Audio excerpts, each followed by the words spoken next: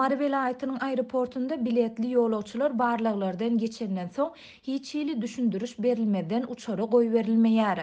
Olaryň biletleri has gymmat bahadan başga ýolagçylara satylýar. Bu barada Azatlyk Radiosynyň ýerli habarçylarynyň biri ýigriminji awgustda habar berdi. Her saparky uçardan takmynan on bäş-ýigrimi adamy alyp galýarlar. Bu adamlaryň ähli resminamalary we biledi bar. Koronawirus sebäpli talap edilýän saglyk resminamalary hem bar. Muňa garamazdan, hiç hili düşündiriş berilmezden, olary uçara goýbermeýärler we aeroportuň işgärleri olaryň biletlerini gymmat bahadan täzeden satýarlar diýip, gizlinlik şertinde söhbetdeş bolan habarçy aýtdy.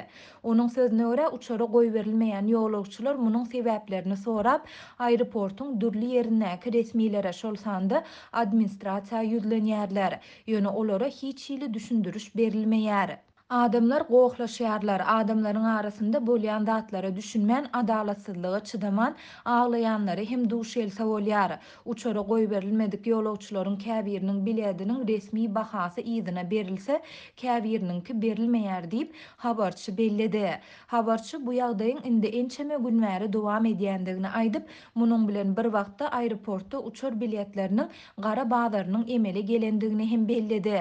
Uçar-uçmazyndan birnäçe minut öň yzyna tabşyrylan biletleri auksiondaky ýaly kim kän pul berse şoňa satýarlar, ýagny iň köp puly beren adamlar uçara münýär.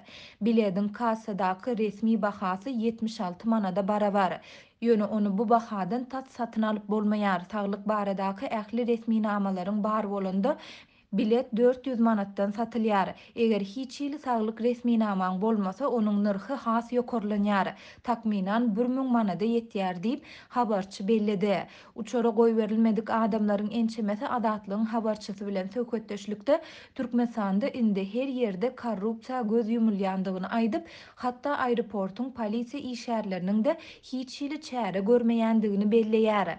Azatlyk Radiosy bu aýdylanlar barada Marynyň aeroportundan we welaýat häkimliginden, şeýle-de polisiýa bölüminden kommentariý alyp bilmedi. Türkmen häkimiýetleri ýurtda hiç bir Covid on dokuz näsagynyň resmi hasaba alynmandygyny aýdýan bolsa-da, iýun aýynyň ahyryndan başlap ençeme çäklendirmeleri giriziler. şol sanda welaýatlaryň arasyndaky ulag we otly gatnawyny çäklendirdiler.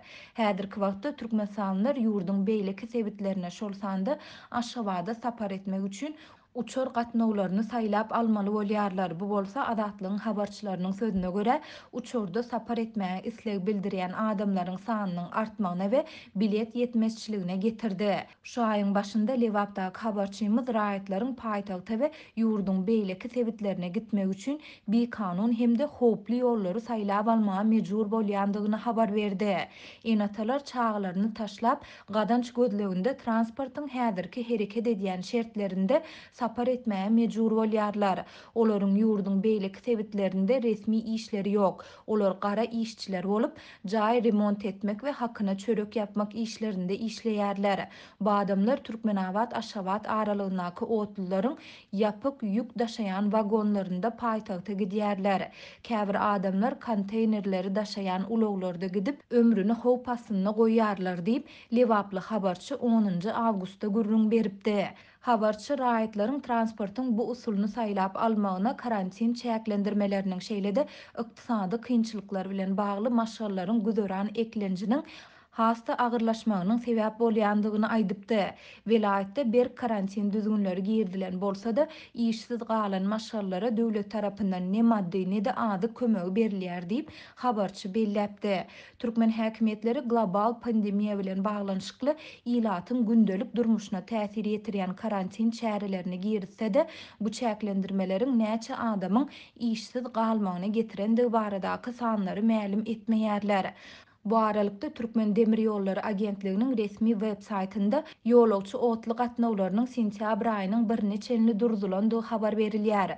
Mundan ozal bu gatnawlaryň on bäşinji awgusta çenli durzulandygy mälim edilipdi. Şeýle-de, agentlik bu seneden soň syýahat etjek ähli ýolagçylarda Türkmenistanyň Saglygy goraýyş we derman senagaty ministrliginiň garamagyndaky edaralar tarapyndan ýetmiş iki sagat möhlet bilen berlen saglyk kepilnamasynyň bolmalydygyny hem nygtaýar.